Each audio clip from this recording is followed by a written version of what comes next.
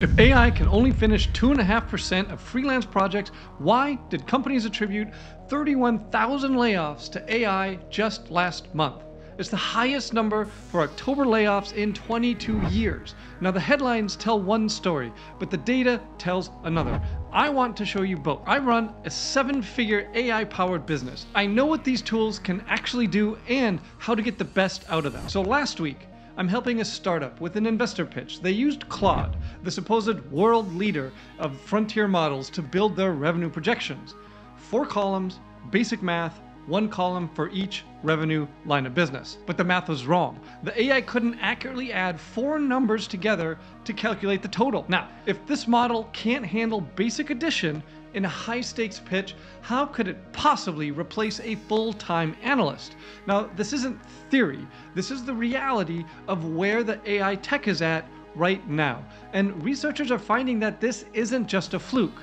Scale AI and the Center for AI Safety recently released the Remote Labor Index. They gave AI agents 240 real world projects from Upwork software design, data analysis, and regular design. The results?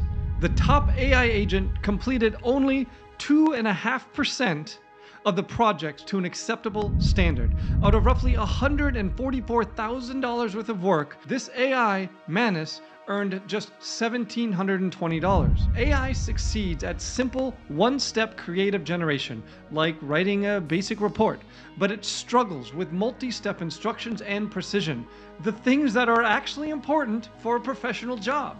Now, you might be thinking that freelance projects aren't the same as corporate jobs, and that's fair. But these are the same kinds of tasks companies claim AI is handling internally. If AI can't complete a freelance data analysis project to an acceptable standard, why would it suddenly be able to replace the analyst doing similar work on a full time basis? So, if AI is only succeeding with 2.5% of these projects, why are we seeing these layoff numbers blamed on AI? Economists at MIT have a compelling explanation for this. They found that automation's impact on your career depends entirely on which tasks get automated. London black cab drivers have to pass something called the knowledge. This is considered one of the hardest tests in the world. To do it, they have to memorize 25,000 streets, 320 routes, and thousands of landmarks, hospitals, hotels, theaters, tiny statues on random walls, all within a six mile radius of Charing Cross. I'm not British, I probably pronounced that wrong. Anyway, it takes three to four years of full time study. The dropout rate is 70%. That means seven out of 10 people who start this never successfully finish it.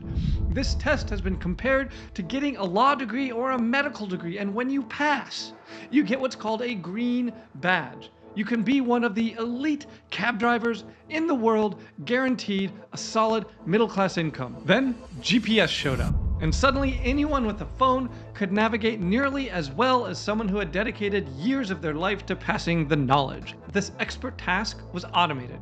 The barrier to entry dropped and wages follow. Now let's look at bookkeepers. So computers took over their routine calculations starting in 1980 and going all the way through 2018. During that time, employment fell for bookkeeping, but wages rose over 40%, accounting for inflation. The technology handled the boring stuff, making the remaining human expertise more valuable. So the question for you is this is AI automating your expert value or your boring routine? Now, currently, two of the most influential people in tech disagree on this answer. Dario Amodei, the CEO of Anthropic, that's the company that makes Claude, he's predicting that AI could replace 50% of entry level jobs within just five years. Amodei suggested unemployment could hit 10, even 20% as a result of this. Jensen Huang, the CEO of NVIDIA, that's the company that makes the chips powering almost all of this, the most valuable company in the world currently, he was asked about Amodei's prediction at VivaTech 2025 in Paris.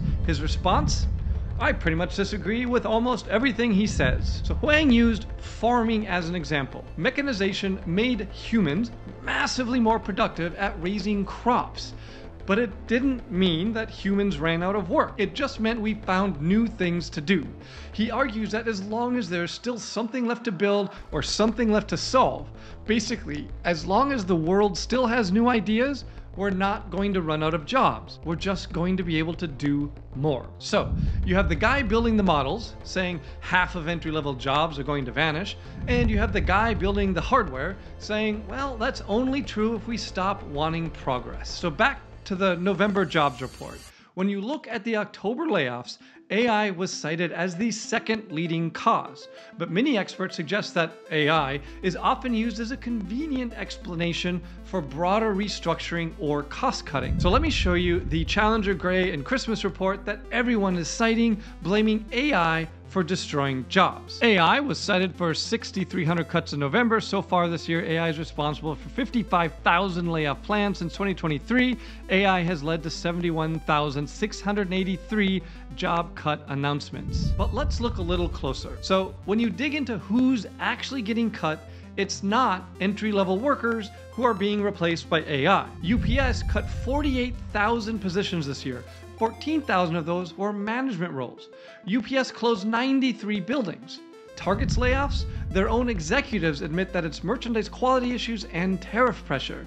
That's not AI replaced the junior analyst, that's restructuring, cost cutting, pandemic overhiring correction. Now, David Autor, an MIT economist, who studied automation for over a decade, he put it this way It's much easier for a company to say we're laying off workers because we're realizing AI related efficiencies than it is for companies to say we're laying people off because we're not that profitable or bloated or facing a slowing economic environment. In other words, AI makes a better press release, an easier story to sell than we made bad hiring decisions in 2021. Now, this is the actual Bureau of Labor Statistics report that was released in December for the November market, and it corrected October's to show this massive number of layoffs. We can scroll all the way to the bottom of the report to get to the data. This is the interesting stuff here. We want to actually see the data. Okay, and this is what's fascinating. We can see goods are producing mining, and then we can see the month over month changes here. And what we see, one of the biggest numbers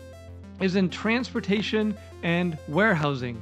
Another one of the big numbers is in leisure and hospitality. These aren't AI related downturns. However, there is a real shift happening at the entry level. A Harvard study found that while companies are not doing mass layoffs, they are implementing a hiring freeze. This means that when a junior level employee leaves, they're just not being replaced. Instead, the senior expert is using AI to cover the gap. Now, honestly, I've seen this in my own agency. I use AI to handle tasks that formerly I would require a junior assistant. A subject matter expert that can run AI well can essentially do work that used to require a whole team. Now, the takeaway on this is clear. AI working alone is rarely effective. It fails 97.5% of the time.